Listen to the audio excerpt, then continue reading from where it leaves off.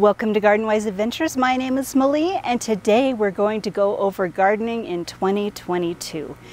For a lot of you gardeners, I think that's all I need to say, but for those of you who are fortunate enough not to have had some of the issues, 2022 has been a really difficult gardening, gardening year. It's been difficult for everybody that I know and it's been difficult for me.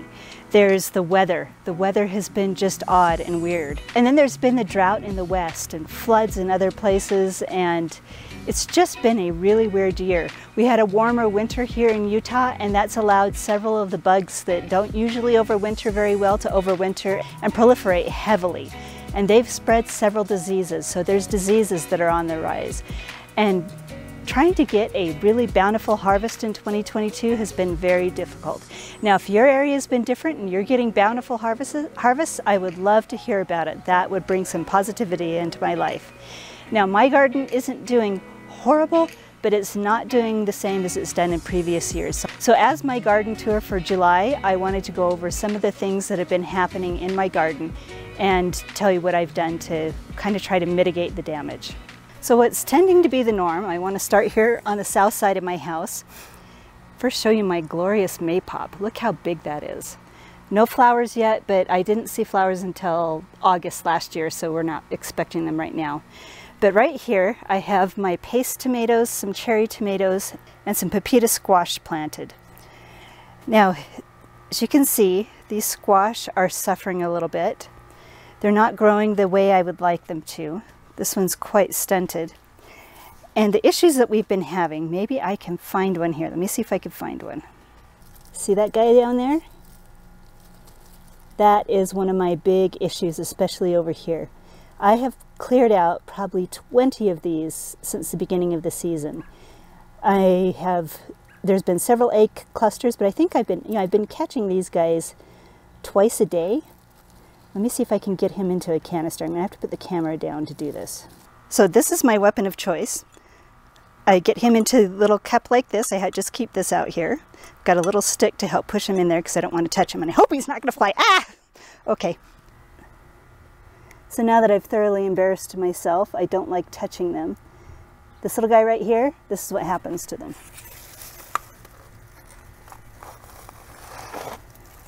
There that one's gone. So that was a squash bug, and from what I've heard, they are just proliferating beyond normal levels. I attribute that to the warmer winter that we had last year. They, a lot more adults survived, and they're coming into the gardens and just wrecking havoc on squash. Now I've been spraying them with Sevin, Sevin with Carbaryl. I will put the spelling of that on the screen and it hasn't seemed to slow them down. But then again, that Carbaryl was saved over from last year, so I'm wondering if the efficacy is a little off. But anyway, let me see if I can find some eggs and show you what they look like. Okay, right here we have eggs of squash bugs. And what you do with these is you can use duct tape. I just use my fingers and squish them. You don't want to leave any eggs on there because once you've left the eggs on your squash plants, you've pretty much lost the battle because those will hatch shortly and then you'll have dozens of babies to contend with. So anyway, squash bugs have been an issue. The next is tomatoes. So we have a few tomatoes on the vine, but we don't have near the numbers that we've had in the past. And I think the issue is the heat. If, it give, if the heat gets above 90 degrees, tomatoes will abort their blossoms. We're getting a few more tomatoes up here. We're getting a few cooler days, but that's reduced my harvest. Now I'll show you another problem. This is called blossom end rot. These are my San Marzano tomatoes. They're a paste tomato, and paste tomatoes are very susceptible to blossom end rot. Now what it is, is it is an inability for the tomato plant to utilize calcium in the fruit appropriately. And it comes and it happens when there's stress on the plant. So either a really cold spring, a cold snap, hot weather, inconsistent watering, that can inhibit the flow of calcium to the tomatoes. And that's what causes that. It's not necessarily a lack of calcium in the soil, in Utah here we have plenty of calcium in the soil. It's just the inability of the plant to be able to utilize it because of stress.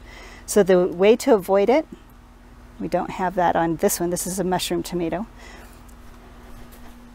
To avoid those issues, like the heat and the late spring frosts, and also try to consistently water them. If you're in an area where calcium in the soil is an issue, make sure you do amend the soil with calcium. But as I said, in Utah, that's not an issue. Let's go show you another tomato issue. But before we leave, these are my sweet potatoes. No real issues with these other than I lost a lot of them in the heat because I planted them when it was 100 degrees. But several of them survived and we'll see how they turn out. Now here in Utah, there's another disease that's been proliferating and it looks a lot like tomato leaf curl. Now, this plant is curling, but if you notice, the veins are green, the leaves are green, it looks healthy, it's got a lot of growth. We're getting tomatoes on it despite the heat. So I don't think this is a serious issue. It's not happening to the top, but it is happening to the bottom. Now I do have an empty area over here. This area is empty right here. That's a tomato that actually had beet leaf curl. And beet leaf curl is an issue that's taking out a ton of tomatoes here in Utah. And it's spread by the beet leaf hopper. So the leaf hopper population was not killed back by our winter. And so it's been spreading the disease. And I'll show you a picture on the screen of what beet leaf curl looks like. If you notice, the veins are purple, the plant is yellow and stunted. So that's what happened to this one right here. Now my peppers, on the other hand, are doing really well.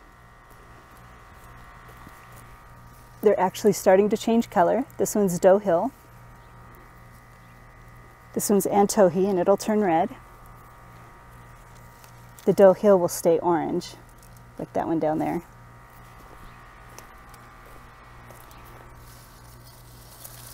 And then we've got some nice sized bells that I could pick now, but I want to let some of them turn red. So the peppers have been doing okay. Squash, and I have to go through every single day and spray and pick squash bugs and pick off eggs, but the squash is doing pretty good. The sweet potatoes that I put over here are not putting on a lot of growth. And I think what the issue is, is this compost mulch is more mulch than compost, so they're suffering from nutrient deficiencies. So I've been trying to fertilize these a little bit more, see if I can get some growth on them. But if we don't get growth on them, this will be a good spot for, to try them again next year because the, because the compost will have broken down a little bit more. We almost have my first ripe tomato. This is a Black Sea Man and isn't it gorgeous? So the tomato will finish turning red and then the top will turn this gorgeous black color. It's got a smoky flavor and I love it. So these tomatoes are a little smaller than the ones over here, but this is because I planted them in an area that gets a lot more shade. So we've got some jet stars that are starting to produce. Got a few tomatoes on there, not a ton. And these are my paprika peppers. They're producing a lot of peppers, but so far none of them have been changing color. I really like this variety and I've, I've grown it for a few years now. So this is a good one. We've got more squash in here. And I think this one also suffered from nutrient deficiencies because I had to add extra fertilizer. They're finally starting to look good. This one's a yellow squash. I thought it was a zucchini, but it's a yellow squash. We've already harvested our first fruit off of it today. And this one was supposed to be a yellow squash, which it might be. I'm not seeing any female flowers on it yet, so we'll see what happens here. My Jerusalem artichokes are getting huge. They're going to get big yellow flowers on the top of them shortly. And my artichoke finally produced some buds. Now these are smaller buds. They're not I mean, they're not thick at all. They're really thin, so I think I'm just gonna let it flower and then I'm gonna tear it out. This is the third year trying artichokes and I've not had luck at all. But anyway, it'll make a beautiful flower. So next week is the week I'm gonna go through and clean out my garden beds. And all of these strawberries are going to go. Now it looks like they haven't been watered, but this bed if you touch the soil, it's wet all the way down. It, I may need to start watering it more than twice a week, but it's just, you know, even when it gets, even when these get a lot of water, they just don't do well. So these strawberries are all coming out. This is a Costa Romanesco, uh, this is a Costa Romanesco zucchini, and I have to tell you, this is one of my favorites. I actually have been eating some of them raw. They're so good. They're sweet, they're crunchy. They are starting to get squash bugs on them, so I do need to watch this really carefully. So this is the only Costa Romanesco that I have. I thought I had more than one, but this is it. Tonight is my watering night, so I've got to come out and water these, but this is my jalapeno peppers. They haven't been doing very well. We have a few, but they're really tiny. As you can see, they're, yeah, they're just tiny. We still have time before the end of the year comes, so we'll see if we can get those producing. This right here is a sun sugar tomato.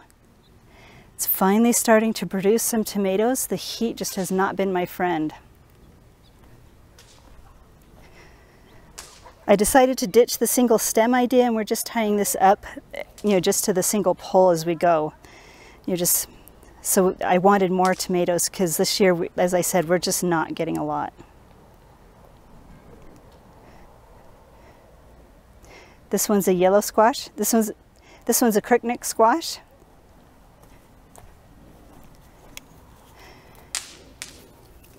And then I planted some seedlings, another Costa Romanesco, because I think I have three of the crookneck squash already. So I'll just pull that one when the Costa Romanesco down here gets big enough. My banana peppers are doing really well. We've already had a big harvest off of these. I've Got a Thai basil. It's also time to harvest my dill. So we're going to be pulling out all this dill and saving it for when we do pickles. And these little wasps, I think these are, I can't remember the name of these, but they love, for some reason, I don't know what it is, they love the, the dill. They love the dill once the seeds have dried.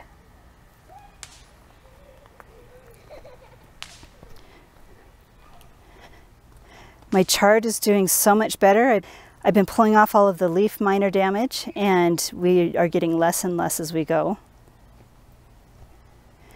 We've got an empty bed here that is waiting for my winter vegetables and those are in pots right now and I'm getting ready to transplant those up. I'm going to transplant those up into larger pots tonight and then I think in a week or two we'll put them out in the garden.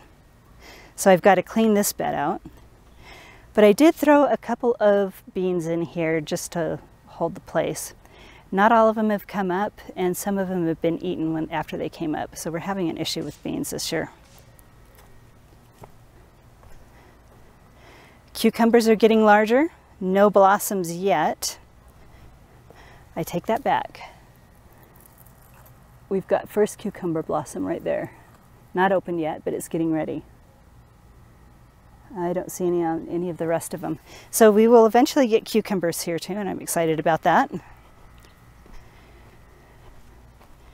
In a few days, we'll have this cleaned out and I'm gonna plant carrots and beets. We're gonna put a shade over the top of this and then put down some paper over the top of the seeds so we can keep them a little more moist so we can harvest them. And then this bed has just been a disappointment. I have got to figure out what I can grow in here uh, I planted onions in here and they came, they did finally head up, but they're just tiny. Let me show you the size.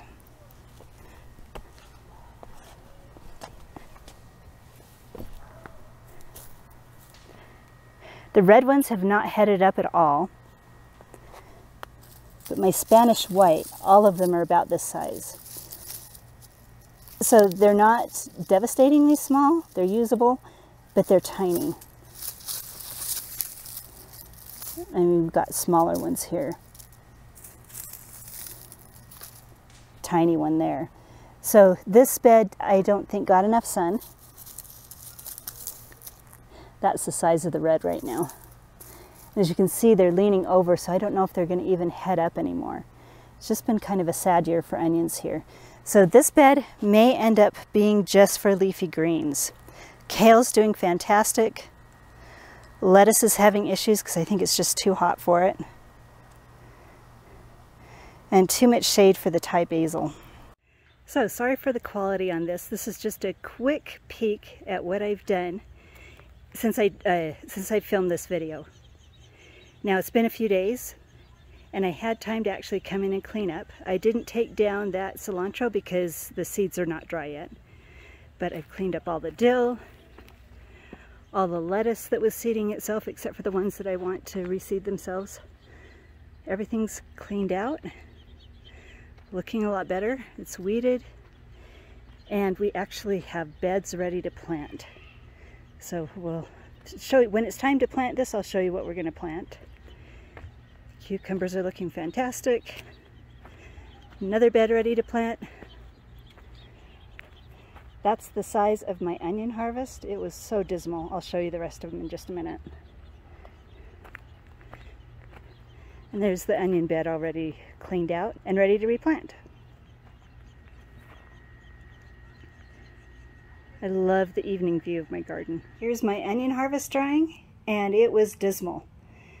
Only about half the onions that I planted actually grew these two are the largest, and those are the size of my average onions usually. So next year I'm not going to plant them in the shade. So before we get back to the pre-recorded video, I wanted to show you my little seedlings that are ready to plant. Most of these are cauliflower. We've got kale, cabbage in the back, way back there.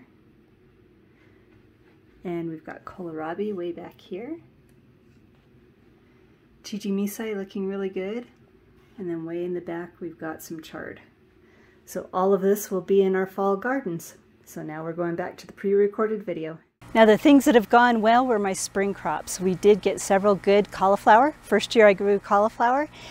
Several good heads of cabbage, which I'm still eating, and a ton of great kohlrabi. So the kohlrabi is doing really well. The kale was a flop. All of it got aphids and none of it's growing very well. I think it's just too hot for it. And the chard to this point has had leaf miner damage really severely. But as you saw, the chard is starting to do better. Beans, I'm having a hard time getting them started, but I'm getting a few off of my GreenStalk. Let me just go show you that really quick before we close this video. So these are my GreenStalks. They look green and fantastic and wonderful, but I really have to clean this one out. If you notice, everything's bolted. All the lettuce is bolted, the arugula is bolted. We had issues with my nasturtium, I think it was aphids. The kale were just completely aphid infested. This one's so stressed it's actually starting to bolt already. Calendulas are getting ready to bloom. And this bean right here, I think it's been suffering some drought stress. These planters have been drying out so quickly with the 100 degree temperatures that I've had to water them daily. And if I don't get out here at the right time in the day, everything wilts. This one seems to be doing a little bit better. I've been harvesting beans off of my beans. The marigolds absolutely love the heat. The basil's loving the heat.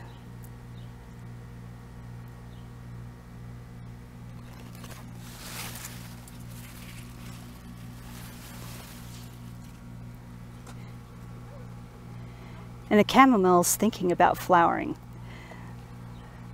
Now I don't know what it is that the birds love, but I was inside my house watching this the other day and the birds were all over this. I think they were little finches and they were hanging out on these stems. Maybe they're eating the seeds. I'm not sure, so I'm not going to deadhead them.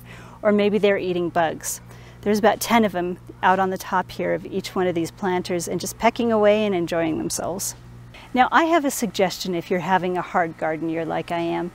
That suggestion is do not give up and do not stress about it too much. You know, if this year is just becoming overwhelming and you're thinking about giving up gardening, maybe it's time to start pulling out some of the most stressed plants instead of trying to waste a lot of time saving them and then work on the plants that are doing well. Be grateful for the plants that you have that are doing well and then chant the gardener's mantra and that is There's always next year. It'll be better next year. So say it with me. There's always next year. It will be better next year. Hopefully this video has been helpful to you. If it has, please like and subscribe, share it with your friends. Go have a wonderful garden adventure and don't give up.